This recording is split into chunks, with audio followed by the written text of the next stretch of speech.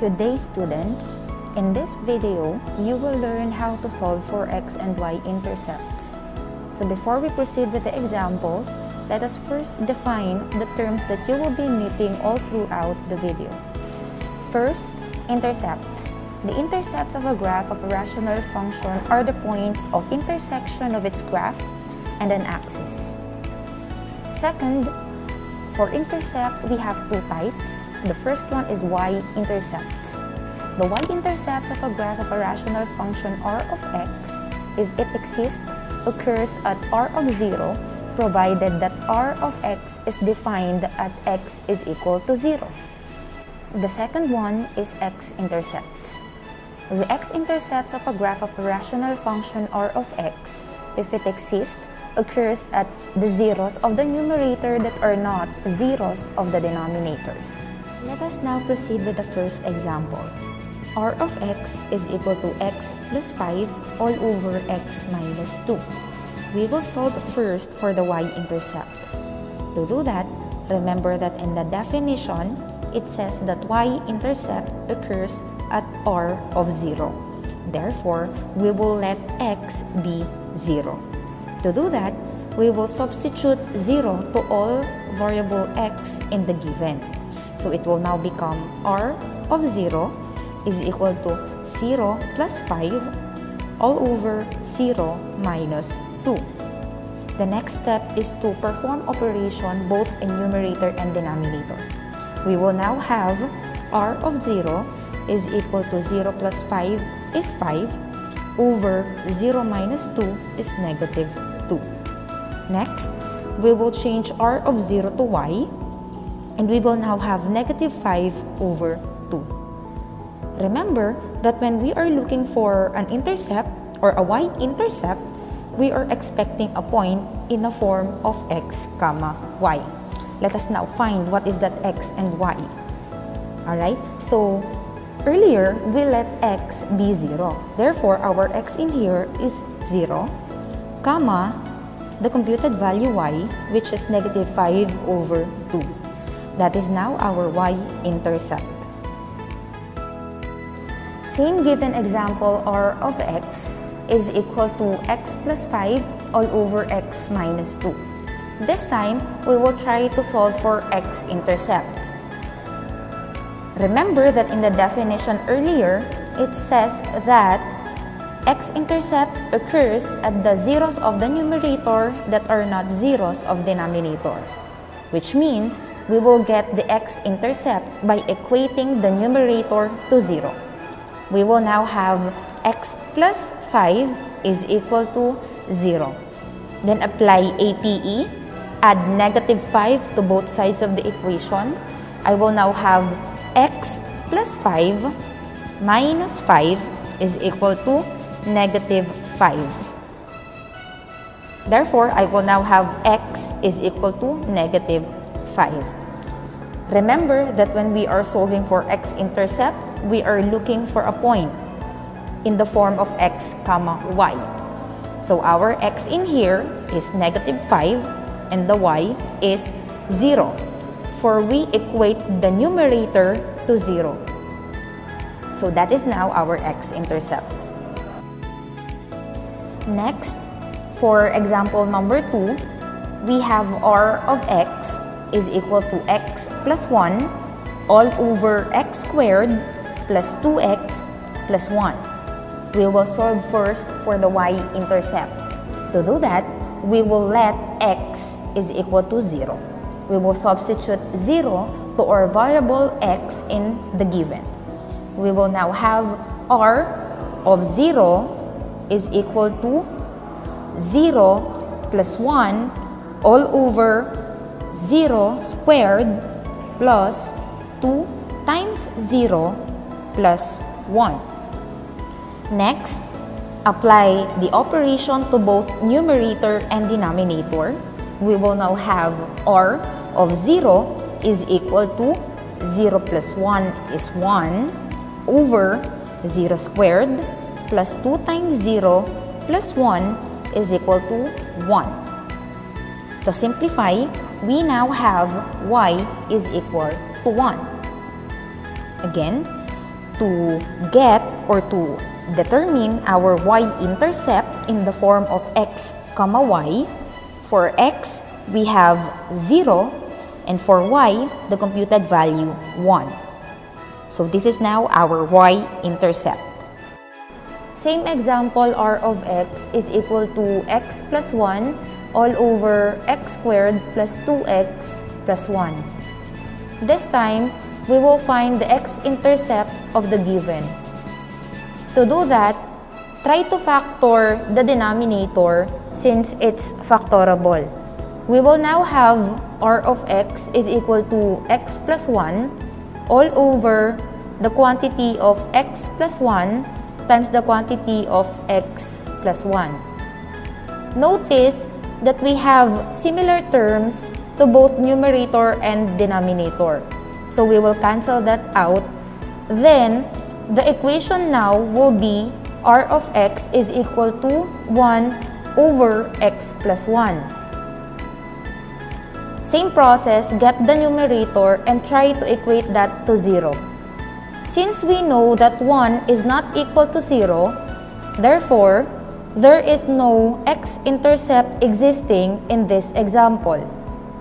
Next, for example number 3, we will have r of x is equal to x squared plus 6x plus 9 all over x plus 4. We will try to solve first for the y-intercept. To do that, we will let x be 0. So let us substitute 0 to all variable x in the given. We will now have r of 0 is equal to 0 squared plus 6 times 0 plus 9 all over 0 plus 4. Simplify or apply the operation to both numerator and denominator, we will now have r of 0 is equal to 0 squared plus 6 times 0 plus 9 is equal to 9 over 0 plus 4 is 4. Simplify, we will now have y is equal to 9 over 4. Therefore, our y-intercept in the form of x comma y is 0 comma the computed value for y 9 over 4. Same given example r of x is equal to x squared plus 6x plus 9 all over x plus 4. Now, we will try to solve for x-intercept. First, let us try to factor the numerator since it's factorable. It will become r of x is equal to the quantity of x plus 3 times the quantity of x plus 3 all over x plus 4. Notice that we do not have same terms to both numerator and the denominator, which means we will get the entire numerator and equate that to 0. Since we have two factors for numerator, we will separate that in this manner we will have the left side which is x plus 3 is equal to 0 and on the right side the second factor which is x plus 3 is equal to 0. Try to find the value of x in the left side. Apply addition property of equality to solve for x. We will now get x is equal to negative 3. On the right side, since we are dealing with similar factor, we will arrive at a similar value of x on the left side, which is negative 3. Since we are dealing with the same value of x, we can rewrite that as 1. So, x is equal to negative 3 and therefore our x-intercept in the form of x comma y is the computed value for x negative 3 and y as 0. Last, for example number 4, we now have r of x is equal to 2x minus 3 all over 8x squared minus 4x minus 12. We will try to solve for the y-intercept. So we will let x is equal to 0. We will substitute 0 to all variable x in the given. We will now have r of 0 is equal to 2 times 0 minus 3 all over 8 times 0 squared minus 4 times 0 minus 12. Apply operation to both numerator and denominator. We will now have r of 0 is equal to 2 times 0 minus 3 is negative 3 over 8 times 0 squared minus 4 times 0 minus 12 is negative 12. Simplify, we will now have y is equal to 1 over 4. Therefore, our y-intercept in terms of x comma y is 0 comma the computed value for y 1 fourth. Same given example r of x is equal to 2x minus 3 all over 8x squared minus 4x minus 12. This time, we will try to solve for the x-intercept.